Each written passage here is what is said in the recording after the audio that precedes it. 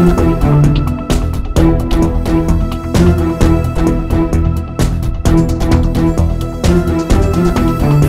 to Suman TV India's largest digital media network.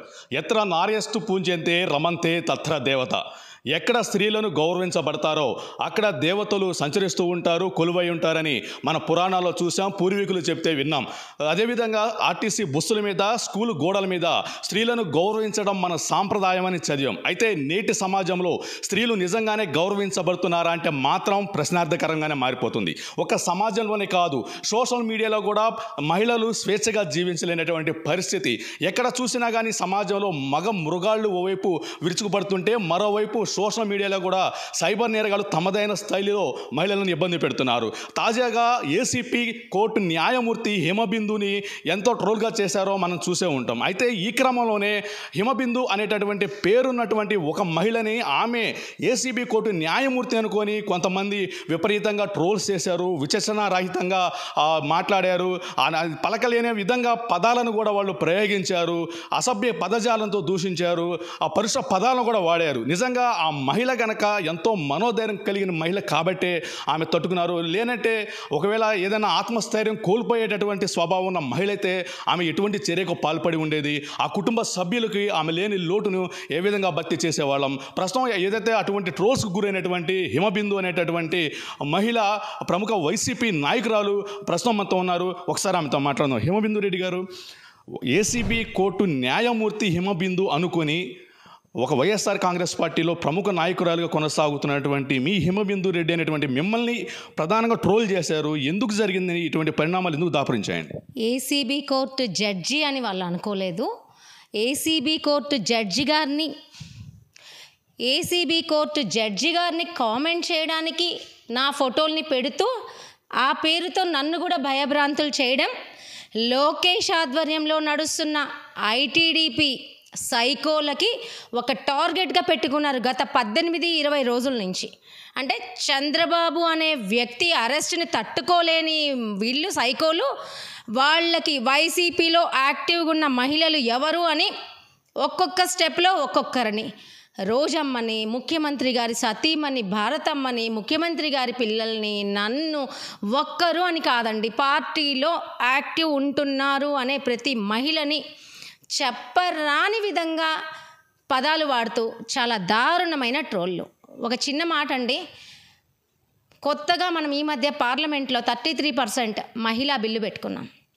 మహిళలని గౌరవించడం అనేది మనం నేర్చుకోనంత వరకు మహిళలకి ముప్పై మూడు శాతం రిజర్వేషన్ ఇచ్చినా యాభై శాతం రిజర్వేషన్ ఇచ్చినా ఇట్లాంటి సైకోల్ని చూసి ఎంతమంది మహిళలు నిజంగా ధైర్యంగా బయటకు వచ్చి రాజకీయాల్లో యాక్టివ్గా ఉండగలుగుతారు?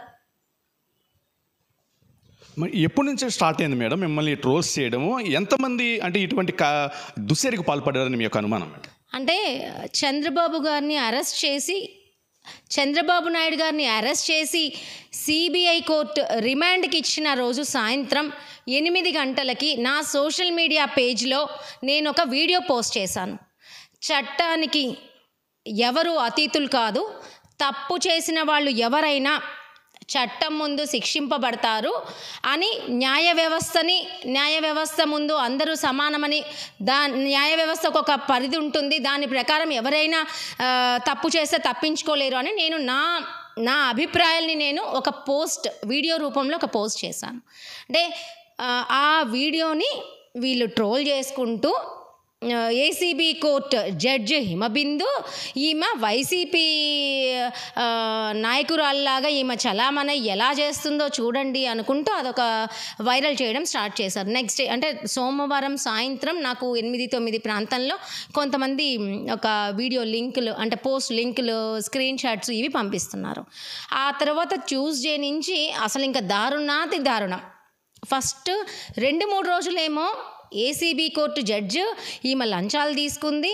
ఈమె చంద్రబాబు నాయుడిని రిమాండ్కి పంపించింది కాబట్టి జగన్ ఈమెని వైసీపీ కార్యకర్తను జడ్జిని చేసుకున్నాడు కాబట్టి ఆమె చంద్రబాబు నాయుడు విషయంలో వైసీపీకి ఫేవర్గా మాట్లాడింది అని మాట్లాడడం ఒక ఎత్తు. ఇంకా చెప్పలేనని స్టార్ట్ చేశారు. ఇంకొక నాలుగు రోజులు వారం తరువాత.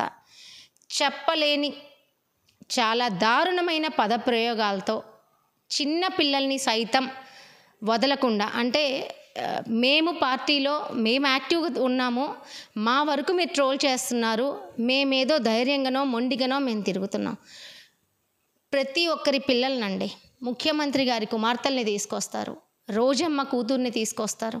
మా పాపల్ని తీసుకొస్తారు. అంటే మమ్మల్ని టార్చర్ చేసేది సరిపోగా మా కుటుంబ సభ్యుల్ని కూడా పెడుతూ అంటే మేము అలాగన్నా నోరు మూసుకుంటారు. ఇంట్లో వాళ్ళు ఏమన్నా ఎందుకు మనకు ఇలాంటి ఇంత సైకోల్తో మనకి ఎందుకు అని చెప్పి మమ్మల్ని కొంచెం ఏమన్నా అరిస్తే మేము సైలెంట్గా ఉంటాము.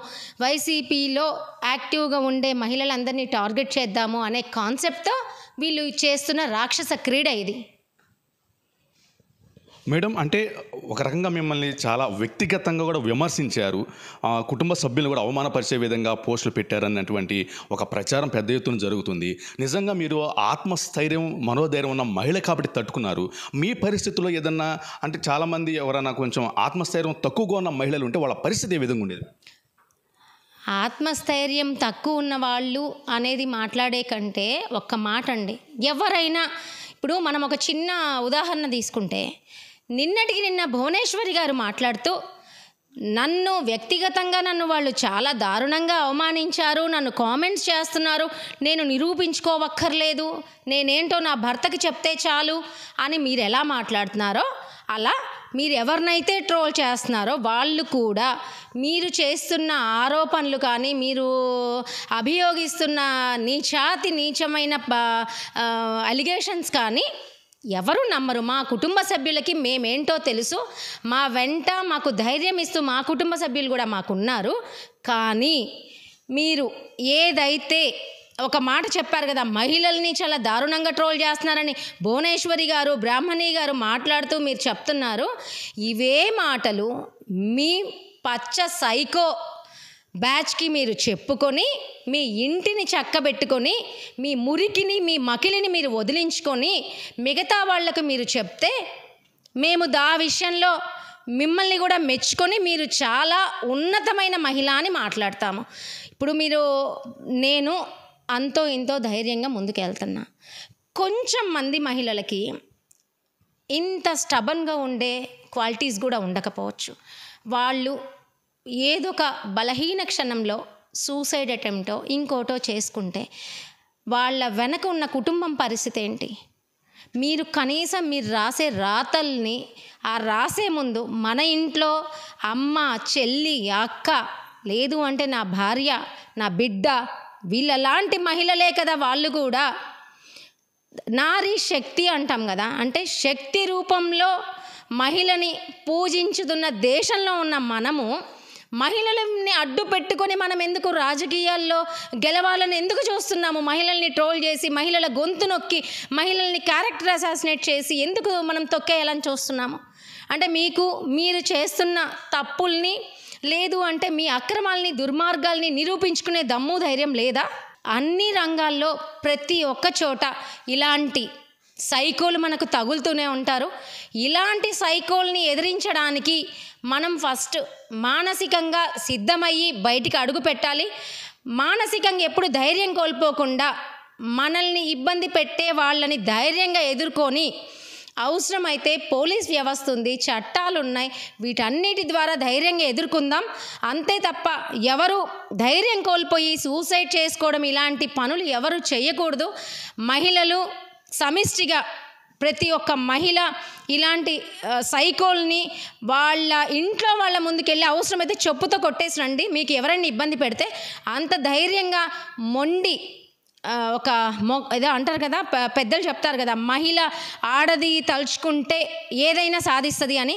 మనము మెంటల్గా కొంచెం సెన్సిటివ్ ఉండిండొచ్చు కానీ మనం అనుకుంటే అదే మహిళలు మొండిగా బిడ్డలకి కష్టం వస్తేనో కుటుంబానికి కష్టం వస్తేనో లేదు అంటే నేను అంతరిక్షంలోకి కూడా మహిళలు వెళ్ళిన మహిళల్ని మనం చూసాం. వీళ్ళందరినీ చూసి ఇందిరాగాంధీ ఇలాంటి మహిళలందరినీ చూసి మనం ధైర్యంగా చాలా దృఢ సంకల్పంతో ముందుకి ధైర్యంగా అడుగులు వేద్దాం. మహిళా సాధికారత దిశగా అడుగులు వేస్తున్న జగనన్న నాయకత్వంలో జగనన్న పాలనలో ఆంధ్రప్రదేశ్ రాష్ట్రంలో మహిళలు సుభిక్షంగా చాలా సంతోషంగా ఉంటారు. పచ్చ కామెర్లు వచ్చిన వారికి లోకమంతా పచ్చగానే కనిపిస్తుంది అన్న చందంగా తెలుగుదేశం పార్టీ ఆ జాతీయ అధ్యక్షుడు నారా చంద్రబాబు నాయుడు అరెస్టు అయిన అనంతరం నాటి నుంచి కూడా నారా లోకేష్ నేతృత్వంలో పనిచేస్తున్నటువంటి ఐటీడీపీ అనేటటువంటి ఆ బ్యాచ్ కూడా ఒక కళ్ళకి ఒక లాంటి పొరలు కమ్మాయని ఈ క్రమంలోనే నెగ గౌరవించాల్సినటువంటి న్యాయమూర్తిని కానివ్వండి అదేవిధంగా వైఎస్ఆర్ కాంగ్రెస్ పార్టీలో కీలకంగా వ్యవహరిస్తున్నటువంటి మహిళలనే టార్గెట్ చేస్తూ సోషల్ మీడియాలో దుష్ప్రచారకాలకు అదేవిధంగా ట్రోల్స్కు పాల్పడుతున్నారని కూడా హిమబిందు అయితే ఆరోపిస్తున్నారు. నన్ను కూడా ఎంతో అసభ్యకరం పదజాలంతో మాట్లాడారని నన్ను కూడా వెనకడుగు వేయించే ప్రయత్నం చేశారని ఆమె యొక్క ఆవేదన వెలిబుచ్చుకుంటేనే మరోవైపు కూడా ఇటువంటి సమస్యలు పునరావృతమైనప్పటికీ కూడా ధీటుగా ఎదుర్కొంటానని కూడా ఆమె మనోధైర్యంతో అయితే చెప్తున్నారు. ఈ క్రమంలోనే ఐటీడీపీ సంబంధించినటువంటి వాళ్ళు చేసేటటువంటి ఆ ప్రచారాలకు దుష్ప్రచారాలకు ధీటుగా ప్రతి ఒక్క మహిళ వైఎస్ఆర్ కాంగ్రెస్ పార్టీ ఆ మహిళా నాయకురాలు కూడా తయారు కావాలన్నటువంటి పిలుపునైతే ఆమె ఇచ్చారు. ప్రధానంగా సంబంధించి ఈ రోజున నారా భువనేశ్వరి కానివ్వండి నారా బ్రాహ్మణి గారు కానివ్వండి ఈ రోజున మహిళా లోకానికి అన్యాయం జరుగుతుందని మాట్లాడుతున్న నేపథ్యంలో గత తెలుగుదేశం పార్టీ హయాంలో ఆ కానివ్వండి అదేవిధంగా సుగాలి ప్రీతి కానివ్వండి అప్ప వనజాక్షి ఎంఆర్ఓ వనజాక్షి మీద దాడులు జరిగినప్పుడు కూడా వీళ్ళందరూ ఏమైపోయారు? ఎక్కడికి వెళ్ళారని కూడా ఆమె ఈ సందర్భంగా ఆ ప్రశ్నిస్తున్నారు. ఏది ఏమైనప్పటికీ కూడా ఆ ప్రజాక్షేత్రంలో ప్రజలందరూ గమనిస్తున్నారని చట్టం తన పని తను చేసుకుంటూ పోతుందని ఈ క్రమంలోనే నన్ను ట్రోల్స్ చేసిన వారిపై కూడా ఫిర్యాదు చేసిన నేపథ్యంలో వాళ్ళని కూడా పోలీసులు అదుపులోకి తీసుకోవడం జరిగిందని రాబో రోజుల్లో మాత్రం న్యాయ పోరాట దిశగా మాత్రం తగ్గేదే ప్రసక్తి లేదు. అదేవిధంగా సంబంధించి ఎవరైతే తెలుగుదేశం పార్టీ శ్రేణులు చేసేటటువంటి దుష్ప్రచారాలను కూడా ధీటుగా తిప్పి కొడతామని ఈ సందర్భంగా హేమబిందు అయితే ధీమా వ్యక్తం చేస్తున్నారు. కెమెరామెన్ బాజీతో వరప్రసాద్ సుమన్ టీవీ తాడేపల్లి నుంచి. Thank you.